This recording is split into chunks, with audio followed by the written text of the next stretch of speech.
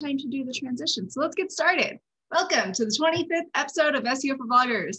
Uh, today we're going to talk about Pinterest Organic with our very special guest, Kate. Thank you so much for joining us. She's the owner and founder of Simple Pin Media. Um, in this episode, we are going to dive straight into Pinterest Organic, ask Kate a bunch of Pinterest related questions. And at the end, we're going to go over the recent Google update, the lovely helpful content update. Um, if you have questions about Pinterest or the update, as always, go ahead and drop them over into the Q&A box, which that is at the bottom of Zoom. If you press the more, you'll see a Q&A. If you click on that, that will open up the Q&A. Oh, looks like we already got one in there. Thank you. Um, so make sure you go ahead and put all of your questions in there. If we don't get to all of them, um, we will get to them in the recap blog post, which is published a week later, um, which includes the video replay, all the resources, the links, all the good stuff, and of course, um, the transcript as well.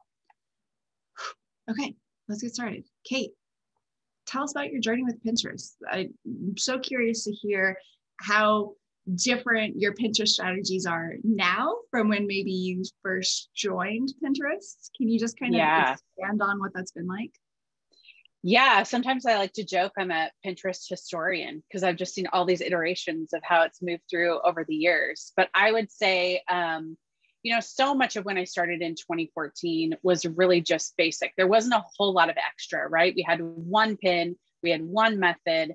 That was pretty much it. And over the years, there's been things that they've peeled back the layers of adding Pinterest ads, adding video, adding idea pins, and now really leaning into shopping and e commerce.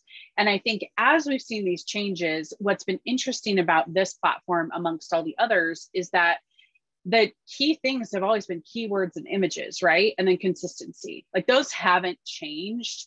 So I sometimes appreciate from the Instagram, the Facebook, write this, don't write this, hashtag this, don't hashtag this. And I think sometimes in its simplicity, we can make it a little bit harder than it needs to be. So I would say strategies for me in the beginning really were the amount of pins and of the same type of pin, a standard pin, right? That's how we get it out. Now it's more diversified. You have different avenues to use to connect with people at different times on the platform and different ways. And truthfully, I kind of like where we're at now because if you're a product seller, you have way more options for your, you know, digital ebooks or whatever it is to sell those on Pinterest than you did, you know, say even 3 or 4 years ago.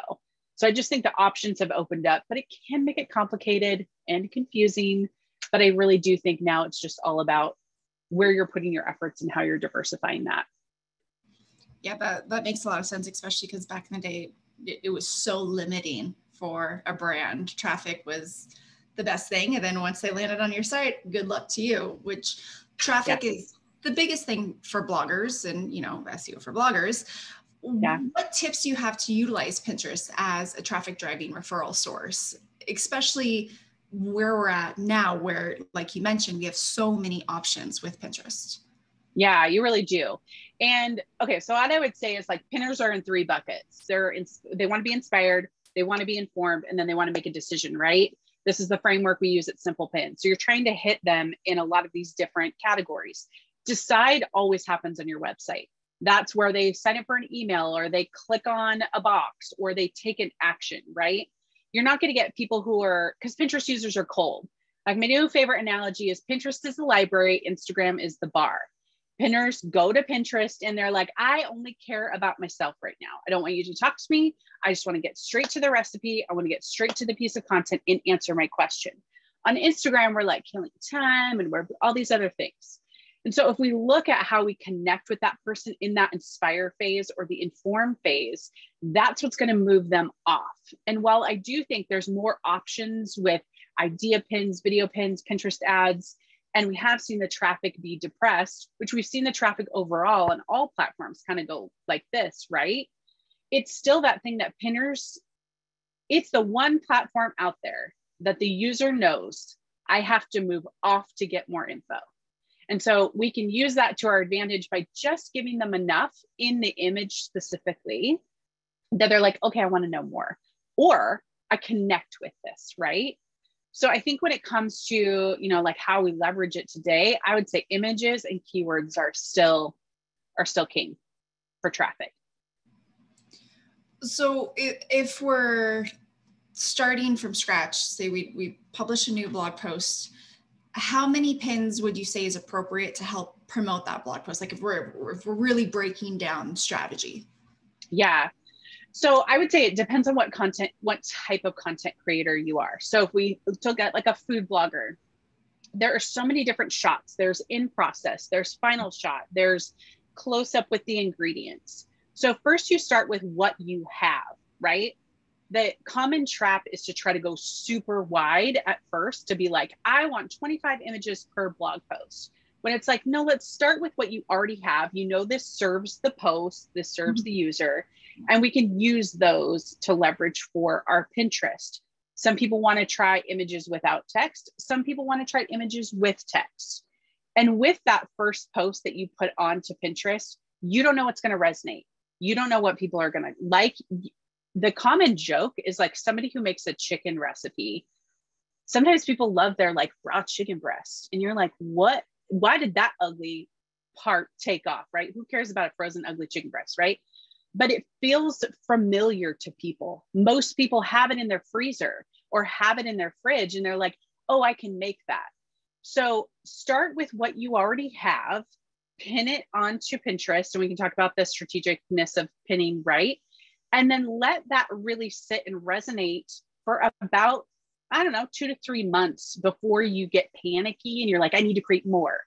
Because Pinterest users, they the great part is you don't know when somebody's going to engage with your content. You don't know when it's going to be shown to people. So you really have to give it this three months time frame go back to the analytics and pinterest analytics are getting better which we appreciate.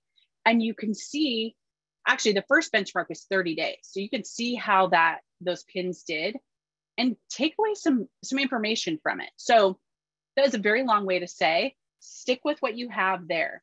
Now, if you're a content creator that maybe just has one pillar image at the top because it's more long form, it's an article, there's not really a whole lot you can do with it. You can go ahead and create two to three more that are different and have different sayings on them, have different text overlay, because you also don't know what buzzwords are going to catch on Pinterest because pinners are thumbing by so fast, right? That you're like, I don't know what's going to connect with them. So you can try, those are kind of like the two opposites here. But ask yourself um, what feels manageable to that I can make, right?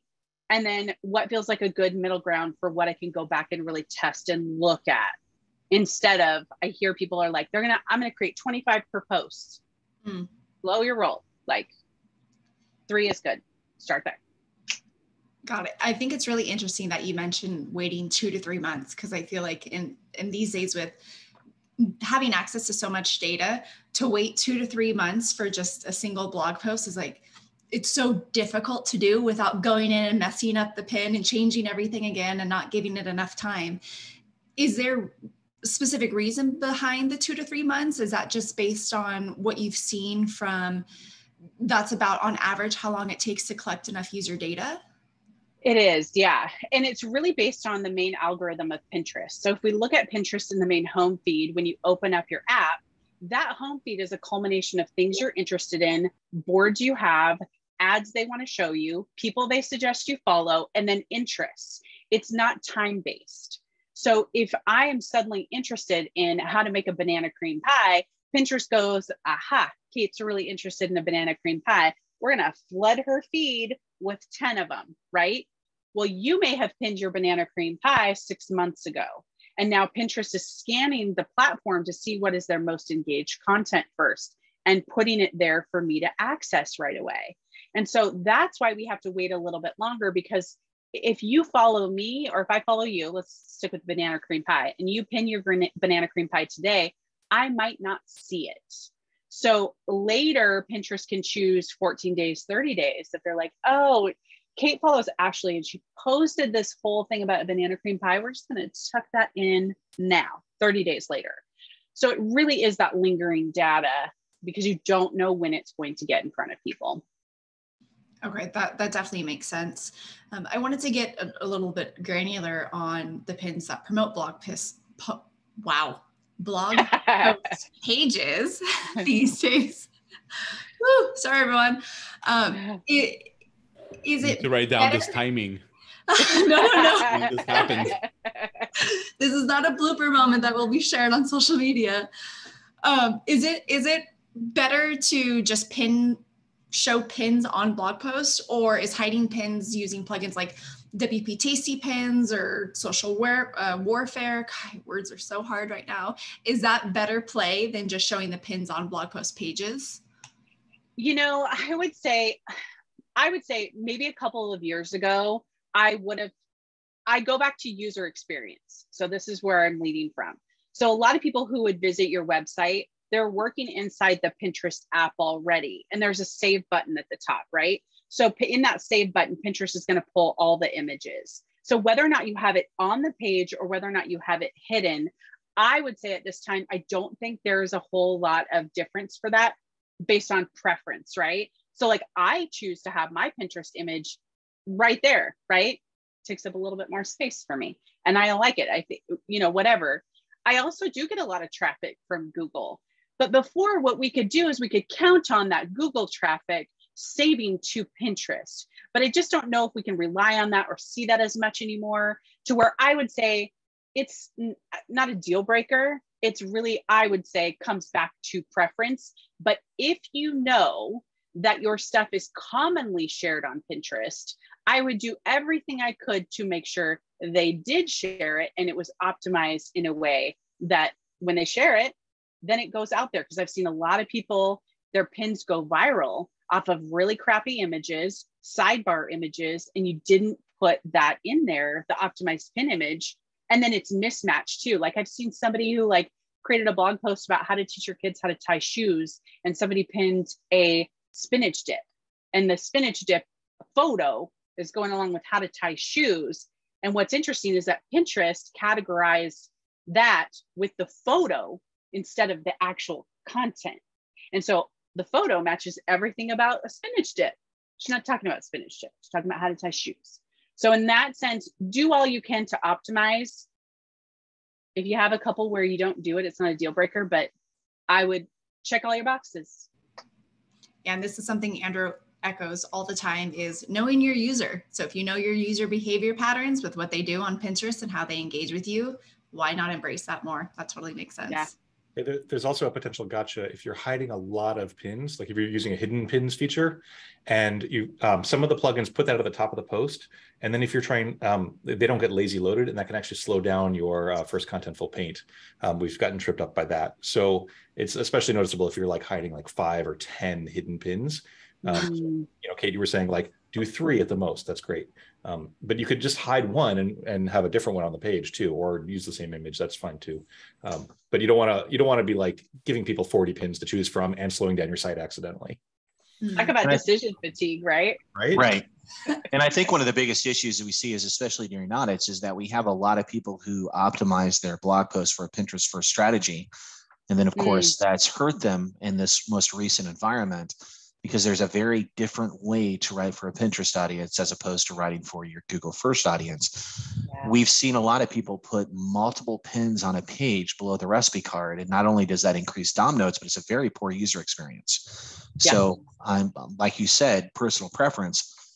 But if you're saying, and let me just clarify and make sure I don't want to put words in your mouth, you're saying that again, if most people are in the app, they're going to pull out those hidden pins anyway. Mm-hmm. So you'd prefer to, if you're going to really want to set yourself up for success, not create any technical issues, as Andrew said, not create any page speed issues, not create any needless scrolling on mobile devices. Don't put those pins below the recipe card. I would just hide them and, like Kate said, maybe three max would be a good approach to yeah. take. Um, can I say this too? Because I think as um, content creators, one of the things we don't do because we're tired is we don't get on our phone and mm-hmm. open the Pinterest app and look at what our stuff looks like. Because yeah. if you click on it and you are annoyed, chances are everybody else is too. And click on other people's content. what do you like? What do you not like? What pops up for you? Spend at least 10 minutes just on Pinterest doing market research. It can't hurt you, and you can see what's new in the app. You can mess around with it because a lot of us function on desktop, right? So we're in this mode of creating our pins on a really big screen, uploading on a really big screen. Open up your phone and just play around with the app. You just never know what it's going to look like. Yeah, it, it's 101 marketing, it, just using your own research and seeing what's out there. I absolutely love that. Uh, diving into descriptions, I would love to hear your thoughts and what some of your best optimization tactics are when you write your pin descriptions. Yeah, I would say number one, it's going to be just writing it natural sounding sentences and don't use hashtags. I know Pinterest has flip flopped over the years and they cannot make up their mind, but just ignore them. So you want to write one to two sentences max and write that in a natural sounding sentence with putting your keywords in there. This is what we've really advised people to do for years. You can go up to 500 characters, but what we find happens with that when you get like three or four sentences is you try to you start to split hairs with your keywords instead of really focusing on one or maybe two. And so you want to write it like you're sending a text to a friend.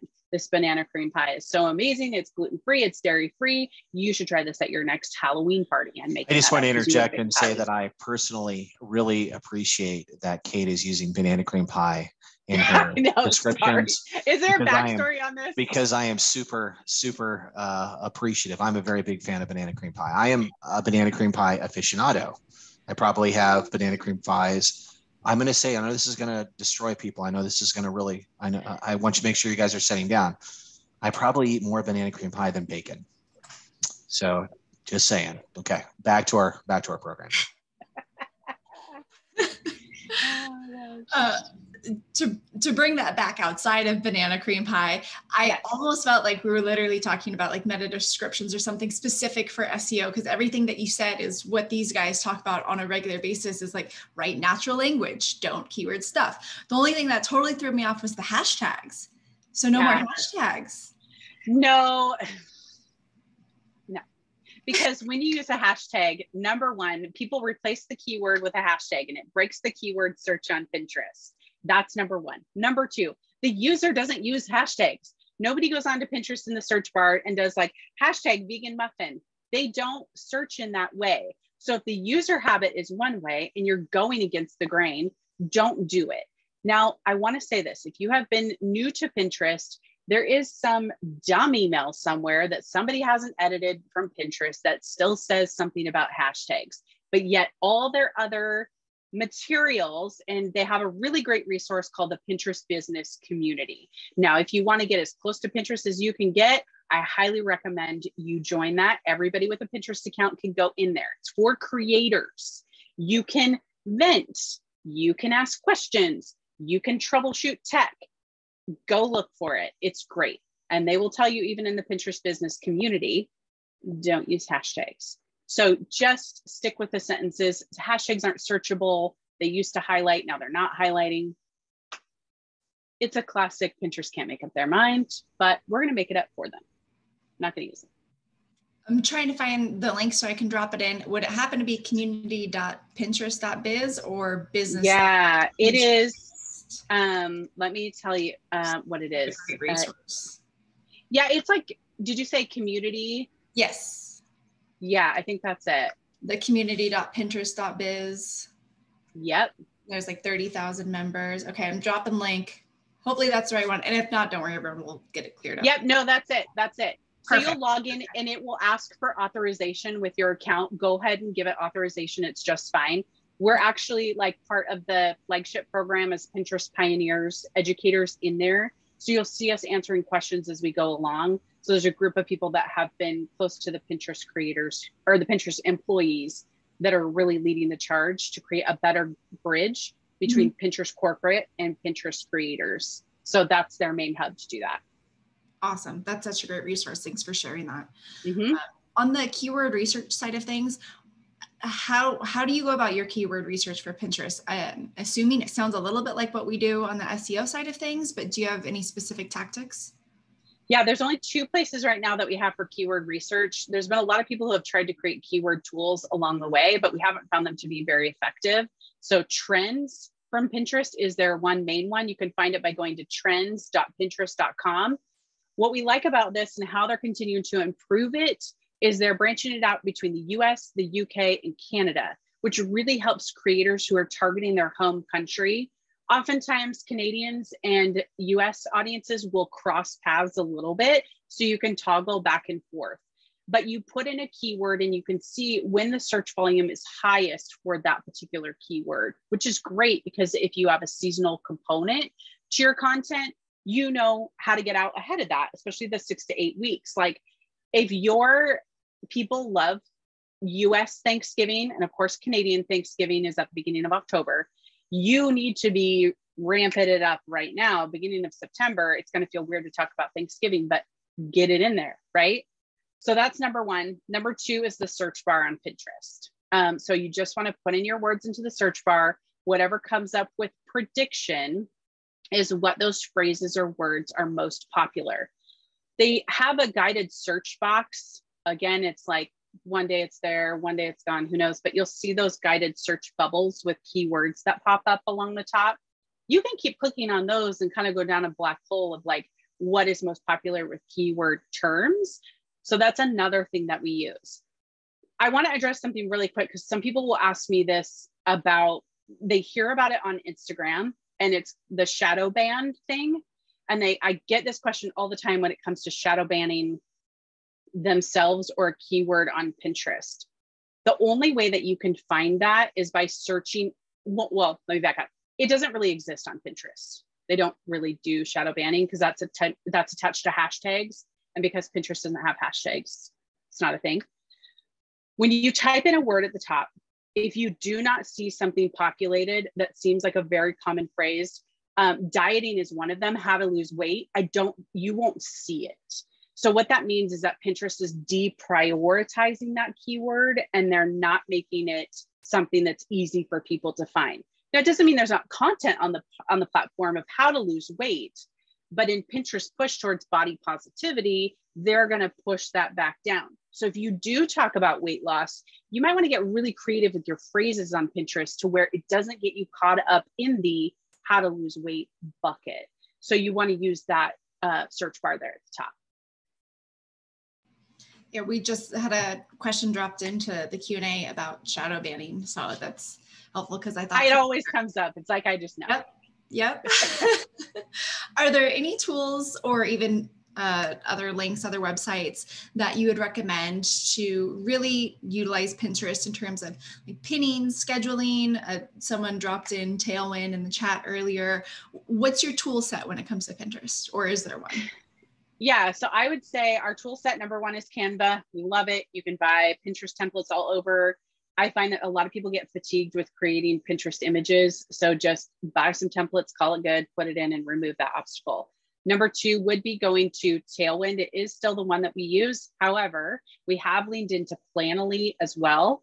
We've tested later, we've tested Canva, and we've tested, there was another one that we also looked at.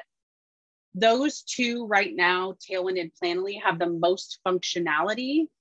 And we do see Planoly leaning into some new features coming up that will be helpful in other areas of scheduling. So I will just wait for that to drop next week, but just be watching what they have coming up because they're continuing to be pretty forward thinking with how they serve pinners. But the one main difference is that Tailwind has a really great interval tool, which allows you to take one pin and drip it out over multiple boards over the course of time. Planoly does not have that functionality, so it's more a little bit manual of pinning along the way which can add time to that part of your Pinterest, I guess, administrative details. It seems like there, there's definitely a lot of changes happening in Pinterest. I'd say probably more so than the Facebook and Instagrams out there that are making changes and not saying anything to anyone about it. Um, are there any resources or uh, publications? H- how do you stay on top of all of the new resources out there or just the Pinterest changes in general? Yes.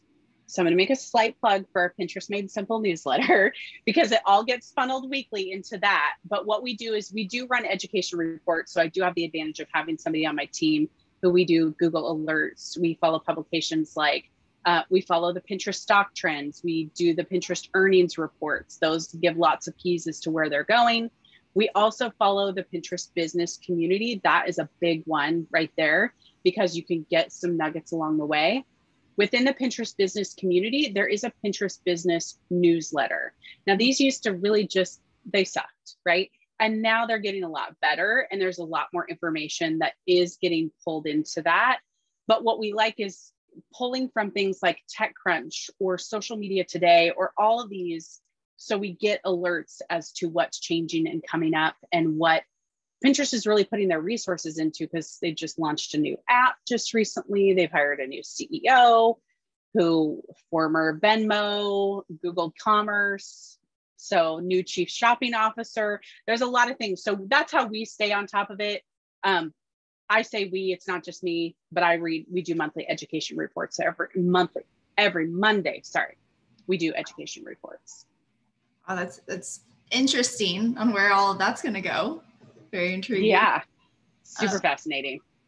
Looking at things from a day-to-day perspective, say you have your blog, you're producing new content on your blog on a regular basis, you're trying to do all the social media things that you need to be doing what does that look like for Pinterest specifically? Like how much are you pinning versus engaging with with other pins or profiles or mm. what's your ratio look like in terms of actually networking on the platform platform versus posting your own?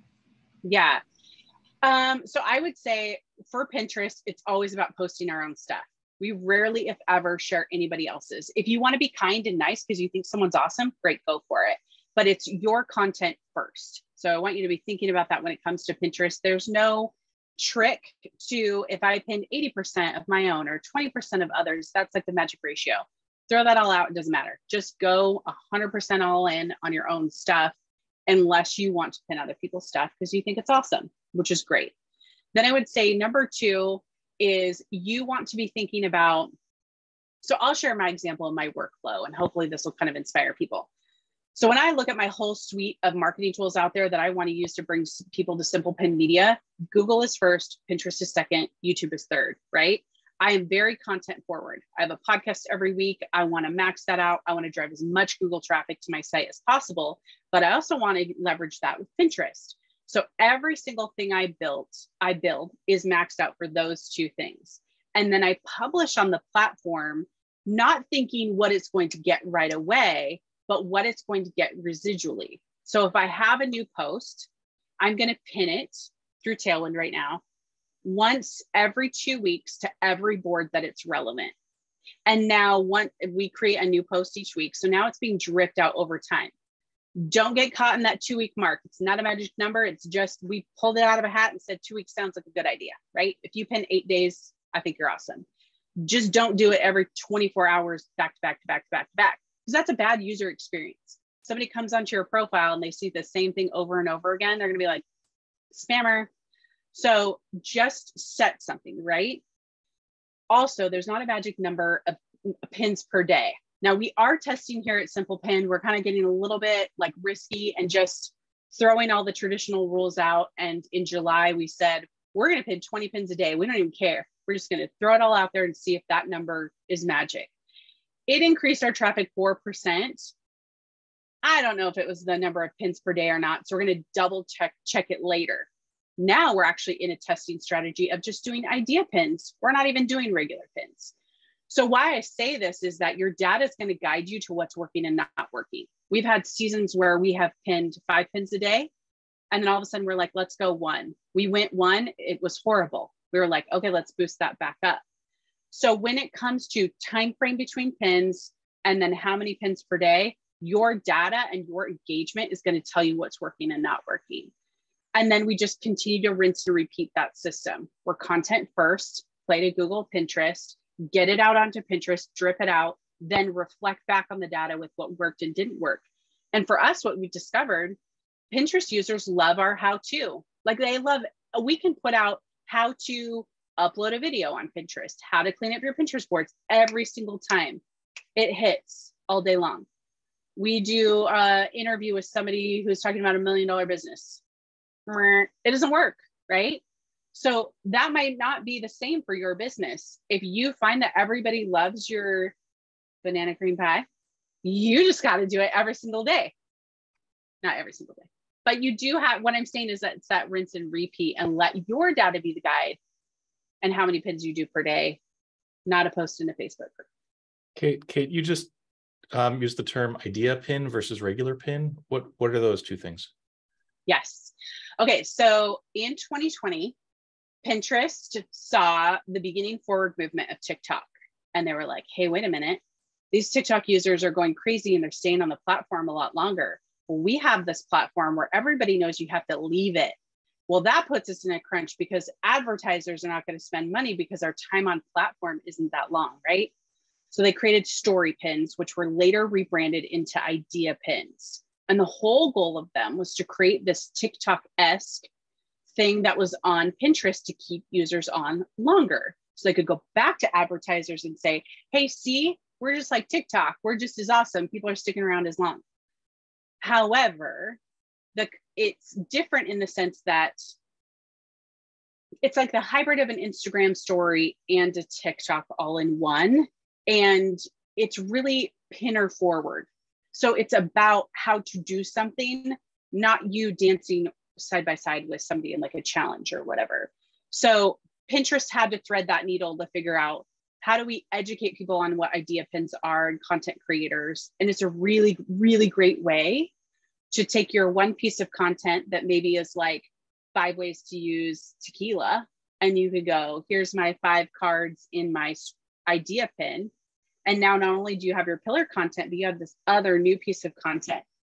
They don't click or they don't link. However pinterest is testing a link feature where it will link out to your website. But what we have found amongst our clients is that those who get that are primarily like new Pinterest profiles. There's been a few exceptions where they're older ones, but we've seen it's mostly just the ones who are within in the last year or so. So that's what Idea Pins is a hybrid of TikTok and Instagram. So just to interact here real quick, because we get a lot of questions on ideal pins and, and I read yeah. the, um, just for everyone on the call, I have been shorting Pinterest for a year and a half. So the reason I've been shorting Pinterest for a while is because it's overvalued, but also because of all the information they reveal in their quarterly filings. And one of the questions that they had was a whole section on ideal pens and how they couldn't get these to monetize very well. So my question is to Kate is that is this something that the average food blogger for example, one of the examples they use in the quarterly statement was, you know, how to cook a meal as a mm-hmm. fantastic way to leverage ideal pens And they were having a hard time getting people to adopt that and use ideal pins in that regard. Is that something you think that food bloggers should really invest in? Is this something that Pinterest is going to double down on and continue to push out with regards to these ideal pins? Yeah, and uh, just slight correction, it's idea instead of ideal. So idea. I just want, yeah. yeah, that's my Kansas pronunciation. okay, there you go. Idea. Um, so there's, I would say there's three ways. One, yes, it's a good thing to test to expand out to your content to potentially reach somebody new in a not, you don't have to wait six weeks before your holiday. You can do that week up. So yes, number one. Number two, they have a brand partnership piece that is happening right now that I think if you are a food blogger specifically who works with brands, this could open the door for you to be able to monetize an idea pin in your media package that you sell to brands right there. Plus, Pinterest can broker the whole thing with that. So there's that. Number three, there's a creator rewards program. While bumpy and still getting out of the gate, that is another way to monetize your idea pins that you could potentially make money off of them. And number four is idea pin ads. Now, we don't know how these are rolling out just yet. We had a podcast last week, week before, and that went into the details behind idea pin ads and how you can use them. I see them as a diversification opportunity. So if you're somebody who's only doing standard pins, I would tell you you're missing the opportunity to get in front of people with what Pinterest is putting in front of people. Now, whether or not they can monetize it on the stock side and all those kinds of things, I still think they're going to keep it and they're still going to lean into it. And I hope that they link later, just not quite sure yet. Perfect. Well, that wraps up the Pinterest portion. Thank you so much, Kate. Um, but don't worry, everyone, if you still have Pinterest questions, we are going to come back. We're just going to do a quick segue because Google had to release an update that is not as helpful as the title claims it to be. So, with that, Casey, do you want to? Oh, wait, I think I almost forgot something. Um, there was something Arsen wanted me to tell you guys that's very important and groundbreaking news. Um, apparently, if you go and follow Top Hat Rank on Instagram at Top Hat Rank, he's going to do a giveaway and give out this epic t-shirt next hey, week. Hey, that's pretty good deal. That's right. So, small plug before we segue. You're welcome, Arsen. Thank, Thank you, everyone for participating. Right. Uh, no, no big be... deal. Oh, no big deal. No big deal. Like what you did there. Right. Uh, Casey, okay, this update. News is everywhere. What's going on with the helpful content update? What is it? Are we freaking out still? No, honestly not. The helpful update has been out for exactly one week as of tomorrow. It went live on Thursday, 825, and so far we have not seen much at all with regards to sites being impacted. Now, this is pretty interesting, and I found this out myself just very recently. The max sites you can have in a Google Search Console is 500. I found that out the hard way as I was trying to onboard some clients, and I had to delete some some profiles. So I took the opportunity to go ahead and connect this to a stream to pull out a lot of data so that I could track things over the last six days. I have 487 sites in Search Console as of today. 411 of them are food and lifestyle blocks. Of those 487 sites, 16 have had a change in traffic, a change in traffic, this is the bourbon talking, change in traffic of 5% or more over the last seven days. That's a grand total of 3%. Of those 16 sites, only five were food blogs. And of those five that were food blogs, one was hacked. We corrected that. Two admitted they unpublished a ton of content they shouldn't have. And so they went ahead and reversed, reversed that. One had a web story that was responsible for a significant amount of traffic that lost traffic. It had nothing to do with the update. And the last one had an analytics issue, which means that she accidentally removed code, which caused a dip in traffic that she that she then corrected. So again, 487 blogs, 411 of them are food blogs. Not one of them can I see any evidence after six days were impacted negatively by the helpful content update. 411 blogs. Now, that doesn't mean that things can't change. This update is supposed to be two plus weeks. Danny Sullivan was asked about this on Twitter today. I'm happy to paste over the link. This is an exchange that I'm going to give to Ashley, and she's going to post. She, uh, he was talking with a colleague of ours, uh, Glenn Gabe, this morning about how the fact that there wasn't much to this update, and Danny rightfully replied that, "Hey, the update's not over." And we're taking all this data to make changes. And that's great. That's a good point on Google's part is that things happen slowly for a reason so that we can prevent from throwing a net in that's going to pull in sites that shouldn't be, you know, quote, penalized, so to speak. But this helpful content update specifically is there to make sure that the algorithms reward useful content. They used very specific examples that had nothing to do with the food, lifestyle, and recipe niches the examples they used were things like we want to penalize sites that advertise they know things that they shouldn't. Like how many of you have been on your google feed have pulled up a thing that says hey if you want to know what's going to happen on the animal kingdom finale click here and you click here and realize that there's no information on the page it's just them writing this long article and then they're going to update the article after the animal kingdom finale so to speak which i bring that up because we watched Animal Kingdom and it was a fantastic finale. Very disappointing. So those are the kind of examples that I want you to understand that this helpful update is is targeting. They're targeting in many cases things that are not food and lifestyle related. If you've I know a lot of this is AI generated as well. Their whole goal with this, I mean, if you look back at the trend, when they started to say in May, hey, AI content is against our guidelines, and then in June, hey, we've updated our guidelines to say that AI generated content is against our guidelines. And then boom, boom, helpful content announced soon after saying, by the way, we might be going down here and making some algorithmic adjustments. You can make a little bit of a determination that A, B, and C might be related. So it's very possible that these relevant changes that are going through with the helpful content update are going to end as a lamb and go out as a lamb as well for the average food and lifestyle blogger. So, as I mentioned on Facebook, if you have unfortunately gone through and made very dramatic changes to your site, I've maybe I've no indexed a significant amount of content that I shouldn't or maybe didn't need to no index, or maybe you actually went in and unpublished a large amount of content that you shouldn't have touched that all all that did was create a significant amount of 404s. All that did was create issues with your existing users and all that did was destroy or remove possible backlinks to your site that were helping you in a tangential way so as danny and everyone else said when this update launched previously when google launched the helpful update they had already baked in a testing data set that they were using on the initial update. So everyone who scrambled over the last week or even the three or four days before the update trying to say, oh my God, I'm going to insulate myself. You didn't do that. You didn't dodge any bullets. All you did was create more issues for yourself. It's not something that we could really prepare for. This is an after effect issue. We really won't know what's going to happen with this update for another three to four weeks at a minimum. But at least right now, uh, the evidence that we have in front of us, especially the large number of sites I have access access to shows a very muted response. So that's a good point. The three to four weeks that, you know, like all updates, they take time. Arsen, what what are the telltale signs that you've been impacted by the update or are there any? Do we even know what they look like yet?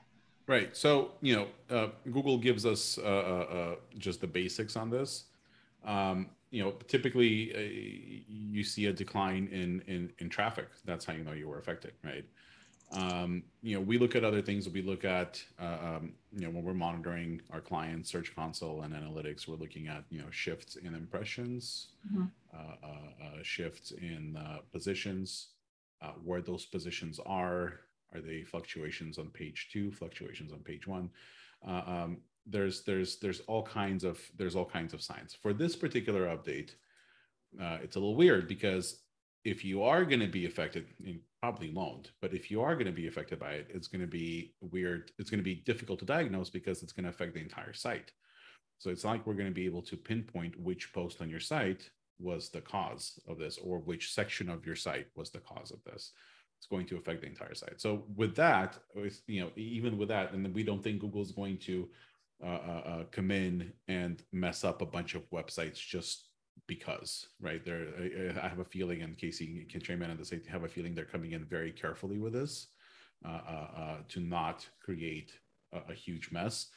Uh, but I definitely think they're they're going to expand on this because mm-hmm. the, the, initial seed set of data that they collected, and keep in mind this is all you know machine learning uh, it needs to learn from somewhere. And you'll you heard, you've heard me say this over and over. It needs to learn from somewhere. So, so they're going to start with this initial seed set of data, and as it continues to refine, it's going to get more knowledgeable. It's going to get better understanding which which which content is there for the sole purpose of tricking search engines.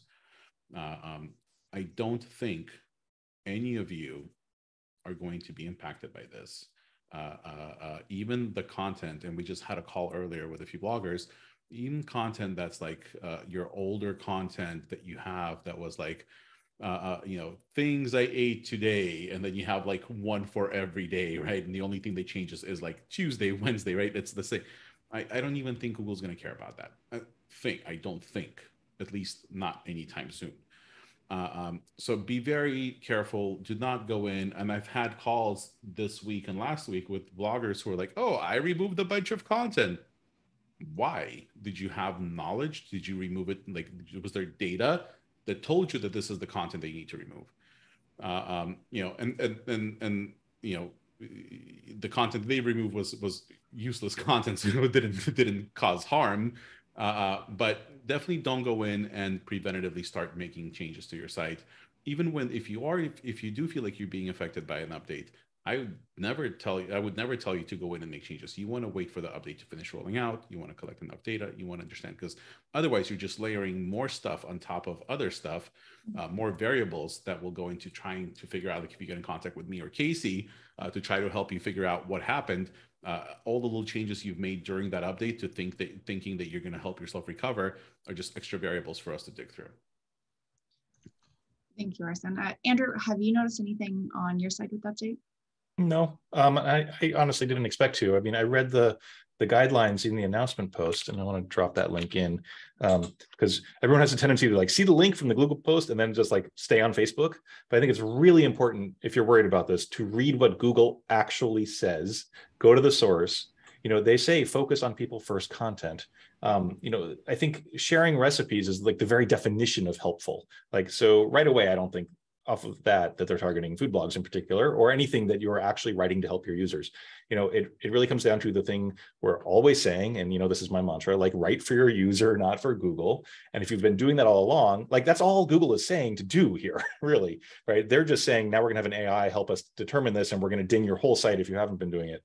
Um, you know a couple weeks ago, um, we needed to shop for a new dishwasher, and so I was googling like best dishwashers 2022, right? And all of the blog posts had like the same Bosch dishwasher. The Bosch 300 was at the top of every single blog post list because Consumer Reports rated it high and it ranks well on Amazon or whatever. All these blog posts though, then they were like, but the next best one is the KitchenAid, and they're just using this information based on reviews on Amazon. They haven't tested the dishwashers. And so I was like in this echo chamber of reviews. So of course all the same stuff gets echoed. And I went to Home Depot, and I actually like the KitchenAid more, so that's what we got. So, um, you know, they're they're targeting stuff like that, where it's like, hey, I'm going to make a blog post of the 10 best dishwashers, so I can get some affiliate links and get some traffic. When you're not really an expert in dishwashers, right? If you've actually tested all 10 dishwashers and you take original photos of those dishwashers and you show them and you're using them, and you show the gunk that didn't come off the, the plate or whatever it is, right? That's what Google wants you to be doing. They want you to be creating real content for real people. I think you've all been doing this all along. So it's a whole lot of nothing for us, frankly. Um, so that's that's my take on this. I, I think it's going to be nothing. Um, but you know, it depends. If you haven't been writing for users and you've been writing for Google, then you might get host. So it, it depends, really. Is that, yeah. is that, yeah. your, final, is that your final answer? That's what he's going to end on. And we've got so we've got about nine minutes. We're going to head into Q and A. There's going to be a lot more Google Update questions, and as we get info, we will share them. So definitely plan on whatever we're talking about in September. If we see anything else on about the update, we will definitely make sure, and just like we did today, set some time aside and update you guys. But we have 19 unanswered questions about Pinterest, and so I'd love to dive into them with Kate while she's still here. Um, okay, so question from Tracy. How do you get viewers to go to your site from idea pins? I've seen that you have to include the URL to your website in the description, but this doesn't necessarily help to click to bring clicks to my website. Yeah, so I would say that right now your chances of getting clicks off of idea pins are very low. And so what you should be focusing on is getting people to save that and click through to your profile and then they will click on your website link from your profile. Now, idea pins do have analytics that show you how many follows you got out of it and how many profile visits you got. And so, if people want more information, they will be drawn to your profile. And that's really the primary workflow for the pinner right now. Um, I think it's one of those things that like everybody really wants a link and they really want it to click like a standard pin. And you just kind of have to let go of that and see if there's any creative ways to call them to action at the end of your idea pin to get them really interested. I have done that. I've been so excited about something that I've seen an idea pin that I've gone to the website and I've really searched. I okay, I'm not an SEO person, but I'm going to say if you don't have a search button or search things really apparent on your website, it's a really bad user experience because I really want to find what I'm looking for. And if you get a lot of traffic from Pinterest, that should be pretty front and center. So that's really how it's going to happen. Next question from Zenzi. Are group boards still useful where a group of bloggers pin to it, pin to it from the same board? No. Mm-mm. I mean, no. No, hard stop it right there. Firm answer. perfect. Perfect. We're gonna get it. We're gonna get Kate a t-shirt that just says no. Yes. Yeah. I, I, like that. I like I'm that. not, it depends. I'm a no on this one.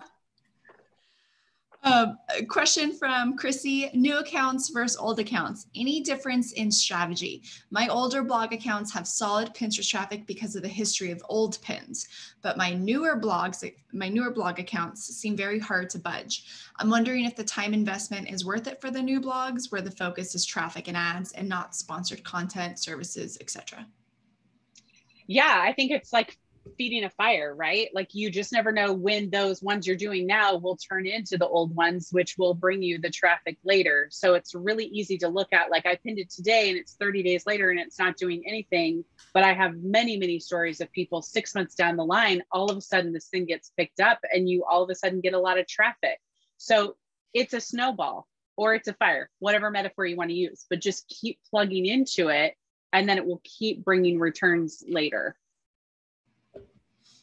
Uh, this question from Tammy, I think you touched on it slightly, but I'd love to hear a little bit more about it um, when you were sharing your strategy. Tammy asked, is it okay to pin the same pin to different relevant boards, or do you have to have a new pin on each relevant board? Yeah, same pin to other relevant boards. Absolutely. We still do that as well because you're taking, you're thinking of each board as like a keyword bucket. And Pinterest looks at the board name, the board description, and the pin description within that. And if they find that to be the most relevant to a searcher on Pinterest, they're going to pull from that. And so you just never know what board it's going to be. So you want to pin to all relevant boards. Hmm. Same pin. There's not a trick like you got to do different ones to try to trick the system. Don't worry about that. Feels like everything these days we have to find a loophole to trick it. So for banana Yes. cream pie, does that mean it's the cream board and the regular pies board and then seasonal board as well? and then the or dairy free and then the is it a vegan, dairy free? the- Okay, Yes, you go crazy, Casey. got it. Okay, Everyone. note noted. we have time for just a couple more questions. I see some questions are in the chat box as well. Please make sure and copy and paste those into the Q&A just so we make sure they 100% get answered. Um, question from uh, Marjorie, what are best practices for how many boards you should have? How many boards you need to showcase your content? So if you talk about gluten-free breakfast, you can only make that stretch so far. So you don't want to have like everything gluten-free and then like I'm going to talk about my nails, I'm going to talk about my hair, like it's not relevant. So there's no magic number to boards. It's just what do you need to accurately distribute your content over all these boards without it like too far reaching, right? Or not being relevant to your brand. While we're on the question of boards, Carrie has a question about how we can optimize our Pinterest boards. Yeah. So your name should be no more than like four words. It needs to be very specific, very targeted. So take the example of gluten free. You don't want just a gluten free recipe board, but you want gluten free breakfast, gluten free snacks for kids, gluten free lunches. Then you have a board description. You want to put that name plus a natural sounding sentence in there. And that's how you really optimize it. If you have board names with hashtags or you have board names that are like, this is so fun, like that's not what Pinterest is looking for. They're looking for clear, streamlined buckets of pins that they can showcase to the people who are searching for it. That makes sense. And still echoing the, the hashtag issue, even in boards, is not relevant. Uh, last question. So make sure if you have not put your question into the Q&A, you have like two minutes to do so, and we will make sure it gets answered.